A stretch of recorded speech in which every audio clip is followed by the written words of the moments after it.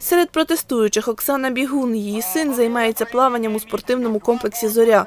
Жінка каже, їм заважають тренуватись. Не дают э, возможности Не дають можливості займатись. Тобто на цю мить, коли не працюють басейни, нам не дають можливості займатись навіть так званим сухим плаванням. Ідуть найрізноманітніші протистояння. То ми не можемо орендувати залу, то і ще щось не можемо. Ми все не можемо. Нашим дітям не призначають розряди.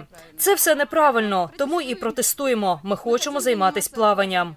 На мітинг прийшли спортсмени, які займаються у тренера В'ячеслава Мороза та їхні батьки. Саме у них виникли труднощі із тренуванням. Сам В'ячеслав Мороз каже про упереджене ставлення керівництва. Проблема с тем, что у нас э, в аварийном состоянии находится плавательный бассейн. Проблема в тому, що у нас в аварійному стані знаходиться басейн для плавання, і ми, якби активністю батьків, дітей, тренера, намагаємось вижити. Вчимося плавати, виступаємо на змаганнях. Тобто я все роблю для того, щоб зберегти колектив дітей. Ну і продовжую числитись тут як співробітник. Ну а директор Барський цьому заважає, тим, що заявляє, що секцій з плавання немає. Пише на мене листи і не дозволяє мені відвідувати інші басейни. Сам директор спортивного комплексу Віталій Барський зараз знаходиться на лікарняному. На вимоги людей відповів Артур Паша, директор соціальних питань державного підприємства «Зоря Машпроект», якому поки належить комплекс. Там атмосфера в колективі я, нормальная. Да. Возможно, есть, я не оправдываю. Атмосфера у колективі нормальна. Можливо, є зараз. Я не виправдовую керівника якісь правопорушення з його боку у конкретних випадках. І зараз працює комісія, яка складається із посадових осіб підприємства, яка перевірить усі ці факти. Також Артур Паша підтвердив, що заняття у басейні не проводяться. Діти займаються в інших приміщеннях. Идет проседание бассейна. Э, Чаша Просідає чаша басейну, ідуть тріщини периметром кріплення. Тобто цього не можна допустити, щоб чаша провалилась через велике навантаження.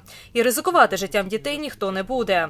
Нехай так вони і говорять, виступають, скаржаться на нас. Це їх право, але допустити будь-якого травматизму це неприпустимо.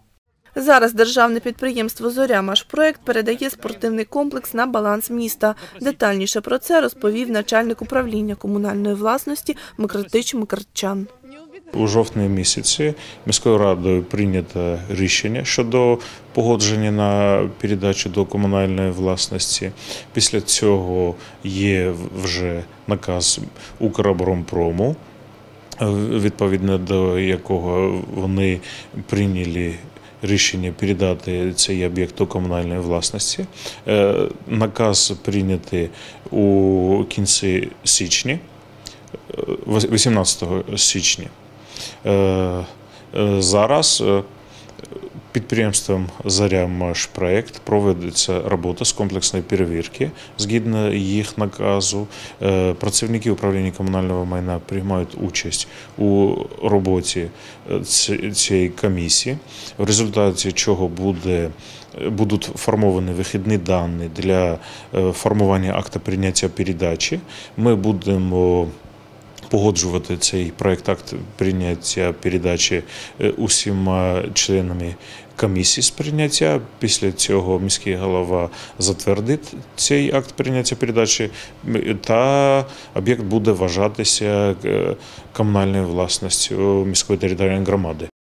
Крайній термін – кінець лютого. Насправді е, процедура передачі. Е, Згідно з процедурою передачі передбачена участь передавальної сторони у капітальному ремонті у якомусь вигляді. Но на сьогодні це, це питання дискусійне, Е, і ми будемо приймати цей об'єкт у стані, як воно є.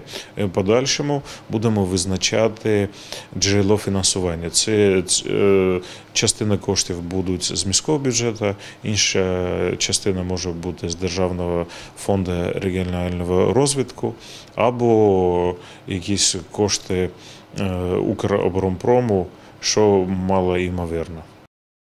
Після того, як об'єкт буде у нашій власності, у нас буде, е, будуть підстави на витрачання відповідних коштів на е, технічне дослідження цього об'єкту, що буде підставою для е, вихідних умов проєктування, після того, як буде е, зрозуміння, у якому стані цей об'єкт і які пропозиції будуть щодо капітального ремонту, буде відповідний проєкт е, реконструкції або капітального ремонту, та будемо визначатись з джерелом фінансування. Перевірка технічного стану триватиме до півроку. Тоді визначатимуться із сумою на утримання та капітальний ремонт комплексу. До того часу про відновлення роботи секції плавання тут не йдеться.